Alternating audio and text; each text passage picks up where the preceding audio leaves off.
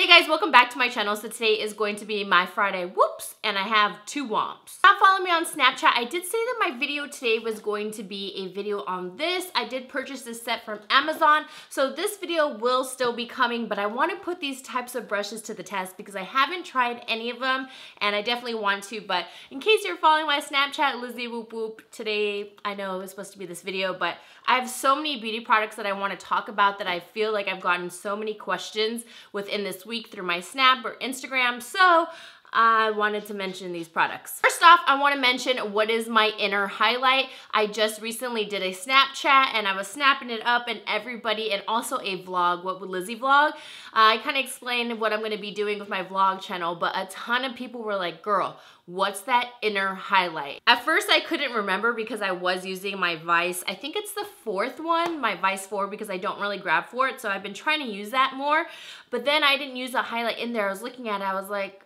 I didn't use the inner highlight from that palette. Then I remembered I pulled out my Makeup Geek foiled eyeshadows and for me, Makeup Geek has been killing it this week for me. I don't know, I kind of like was off Makeup Geek for a while and now I'm rediscovering things and she came out with some new stuff which I'll show you but this is the shade Whimsical and this is what is in my inner highlights, inner corner and it is, look at that. If that ain't pigmentation, I do not know what it is, but it's super frosty and you barely need any. This may look piled on. No, this is with a pretty light hand. I love highlighting my inner corner to give me that pop, but this gives me like a Bam. Now, like I said, I've been trying to pull out palettes that I haven't been using and I also pulled out these matte shadows from Makeup Geek and I find that, I don't know, it's just so hard keeping up with eyeshadows, but one that I'm currently wearing on my lid, which I think is one of the most stunning purples. I don't know, I'm not really into colors, but this purple I'm in love with and this is the color Fairytale right here. I have it on my lid.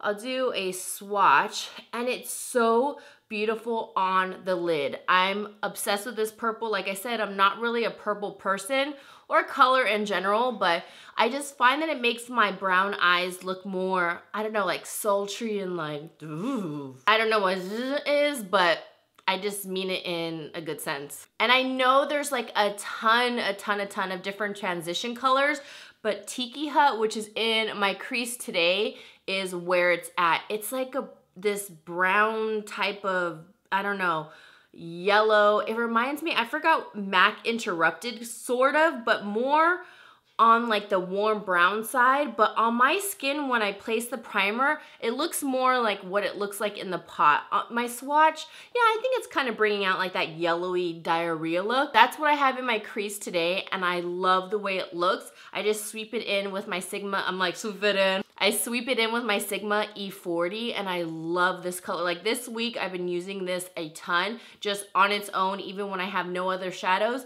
just to give me a little bit of definition. Okay, sorry, I'm back. I noticed like that one little section was bare, so I ended up just putting a pineapple there. Okay, so now the very last product from Makeup Geek that I've been loving are the new blushes. So she recently just reformulated all her blushes and I love the way that they come in the compact. They do have them in a regular pan. Uh, I really like those because you can really just see the colors. You put them in a Z palette or just make your own magnetic palette, which I really love, but I love the packaging where it wouldn't even make me upset to go through this because it's more of like this coppery color and like a coppery bronze. So this is the blush that I've been loving and this one is called Infatuation. I loved this blush before. This was always one of my favorites, so it still is. I'm currently wearing it right now. They blend great. I mean, I didn't really have issues with the last formula. I just gleeked. I didn't really have issues with the last formula, but now after trying this one, I don't know if it's like a placebo effect or just knowing that she reformulated it, but it works really nicely into the skin, just blends. I love it. I haven't had any issues, no patchiness, and it wears for a really long time. I don't really remember see or like figuring out if her old formula didn't last as long, but these last all day and I love them. You don't have to buy the compact, that's just like a new kind of packaging, but you can just get the, the pan and I think the pan is 10 and then when you buy the compact it is 14 so you are saving four dollars that's quite a bit huh so next I'm going to be talking about this Laura Geller highlighter now I've been obsessed with this color specifically and this one is in the shade Ballerina they describe it as a rose gold and for some reason at first I was like uh, this is a champagne sort of gold. I think that's just like so typical to say. But I did say that in my recent Get Ready With Me video. If you haven't checked that out, definitely check it out. I think you guys would really, really really like that one. I put a ton of footage from Phame Expo. Uh, I really like the way I edited that video and I put a lot of love into it, so go check it out. But I used this highlight when I had my meet and greet at Phame Expo and it is currently the one I'm wearing right now. And it is called Ballerina. I don't know, I just love these types of highlighters. I feel like you just can't get enough of them. Uh, this would be specifically good for someone with medium skin tone and up because anything a little bit lighter, it is it is pretty pigmented where it it really works for my skin tone and up or even a little bit less tan than me, I don't know, like a medium and up. But I really like this. If you are fair skinned, it's probably going to show up a little bit too rose gold or bronzy on you. Uh, you could always sweep it over a blush and stuff like that, but I figured if you're gonna buy a highlight, it's because you wanna, you know, but that highlight though, I like those cheekbones and around your face. So yeah, I've been really enjoying this one and I'm obsessed with this shade right now. Okay, so next is what's on my face and currently I'm not wearing a powder foundation or anything. This is a BB cream and it is not set. I am still currently testing it out because I wanna do like an and an individual review on it. But so far I'm liking it enough where I want to stick it in a favorites. And this is the Clean Matte CoverGirl. This is a brand new product. I have, what shade am I? Oh, medium. I'm not sure how many shades there are. Uh, not really sure how deep it'll go because usually when you have like light, fair, medium, medium tan, medium deep, they usually don't go too far in the spectrum, which really sucks. But uh, I'm not sure yet. I haven't checked the shades, but I am wearing the shade medium right now. And this is what it looks like not set with no powder. I just have like my bronzer and stuff around, but I really like it. Uh, it gives a really nice,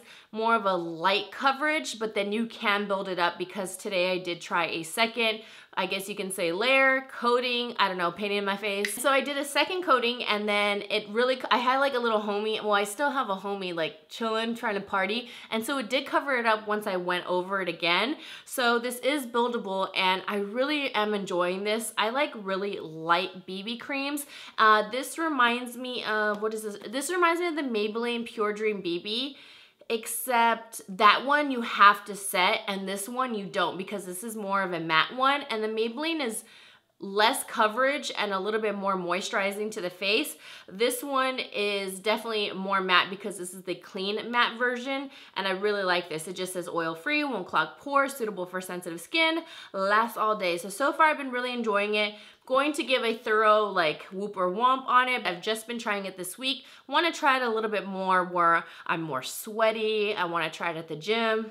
Yes, I said the gym. Okay, so my last Friday whoops or womps, I mentioned that I love and I'm obsessed with the Soap and Glory, the scrub, and also the body butter, that it smells so good. And a ton of you were just like, yes, that's where it's at. And I've never really raved about body products like that, but that combo together is just bomb. And specifically, I was just like, the scent is so good. I was like, why don't they make a body spray out of it? And everybody was like, hey, they do make a body spray out of it. And I had no idea. I just started trying out the brand. And I don't know if like the Soap and Glory gods like heard me. They're like. Then they ended up sending a bunch of PR packages, packages, packages to a lot of vloggers, and then they sent out they sent out a whole set of the mist. So in there was the original scent, and this is my favorite one. It smells exactly like the body butter and the scrub. Oh, it is just perfection to me. I'm not a really big body mist person. It's like, it's either I'm gonna wear perfume or not, but this one smells so good. Definitely recommend it. Go check it out. It's very light and fresh. Smells girly. I'm not good at describing these. Just go check it out. Smell it for yourself. For my very last favorite before I go into my two womps, you guys are probably gonna be really grossed out.